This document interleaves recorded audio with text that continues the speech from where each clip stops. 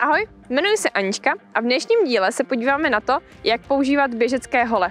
Řekneme si, jak takové hole vybrat, v jakém terénu je můžete využít a také jak s nimi zacházet.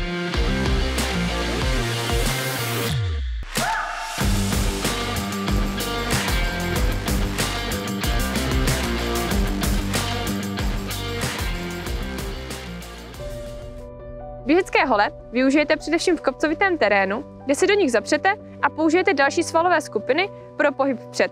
Nejčastěji se běžecké hole berou na delší vzdálenosti, především ultra, tedy na závody 42 km a více. V poslední době se ale také setkáváme se závody typu Vertical Race, kdy běžíte pouze do kopce a i tam hole určitě využijete. Běžecké hůlky jsou ideální na tratě, kde jsou kopce opravdu strmé a terén je náročný. Pokud se chystáte na závod, kde se sice budete pohybovat v kopcích, ale kopce jsou spíše běhavé a mírnější, hole nechte doma, jelikož vám budou překážet a úplně je nevyužijete. V dnešní době si můžete běžecké hůlky vybrat u několika outdoorových značek. První skupina jsou takové hůlky, které nejsou nastavitelné a budou mít vždycky stejnou délku. To se pro běhání úplně nehodí, jelikož je to nepraktické. Druhá skupina jsou teleskopické hůlky, které si různými mechanismy na hůlkách můžete nastavit na svou konkrétní výšku. Nevýhoda těchto hůlek je v tom, že časem se tyto nastavitelné mechanismy opotřebují a při větším zatížení se mohou hůlky povolovat a nebudou držet svou délku. Pro trailový běh jsou ideální tzv. skládací hůlky, které si jednoduchým způsobem můžete složit na menší délku a můžete si je umístit například do batohu, anebo při seběhu je pouze držet v ruce, ale nebudou vám překážet. Při výběru běžeckých holí se zaměřte na několik parametrů. Jeden z nejdůležitějších je jejich výška. Pro trailový běh bych doporučila takovou výšku holí, abyste při držení rukojeti měli v lokti přibližně 90 stupňů. Pokud s hůlkami plánujete běhat často, měla by vás zajímat jejich hmotnost. Vyvarujte se těžkým trekkingovým holím, jelikož vás z nich budou pouze bolet ruce. Ty nejlepší modely jsou vyráběny z karbonu, který je lehký, takže v rukách skoro nebudete nic cítit, ale také pevný v zatížení. Na druhou stranu si dejte pozor při nárazu, jelikož se mohou lámat.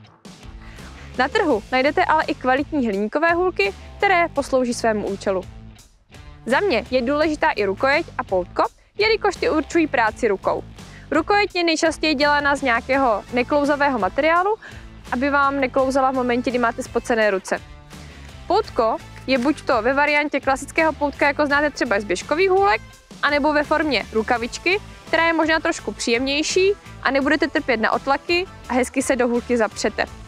Poutko by mělo být nastavitelné tak, abyste byli schopni držet rukojeť, ale zápěstí musí mít plnou volnost pohybu.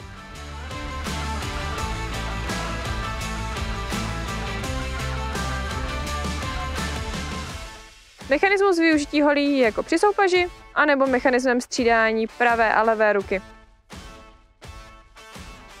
Mírnějším a táhlém stoupání zabírejte na střídačku rukou a protější nohou.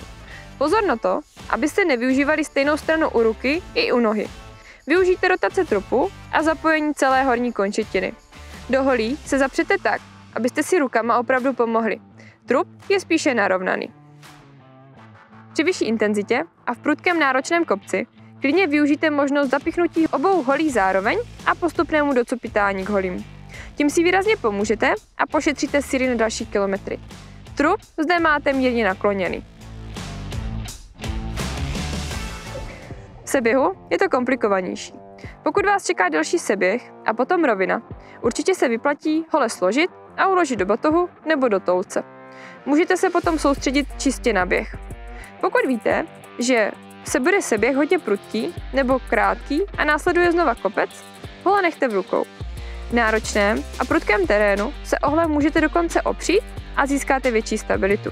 Navíc, pokud se stane, že se v závodě zraníte nebo máte nohy už opravdu unavené, hole vám odlehčí, abyste na zraněnou končetinu nemuseli došlapovat a odlehčíte i kolenům. Myslete na to, že hroty na holích jsou opravdu ostré a až s nimi budete v závodě manipulovat, dejte si pozor na svoje okolí, abyste nikoho nezranili. Často jsou běžické hůlky využívány tak, že se křičovitě drží pouze rukojeť a poutko se vůbec nevyužije. Při odrazu se do něj plně zapřete a pomožte si energií celé paže. V dnešním videu jsme si řekli, jak a proč používat běžecké hole a taky, jak je správně vybrat. Budu se na vás těšit u dalšího videa, sdílejte, lajkujte a sportu zdar!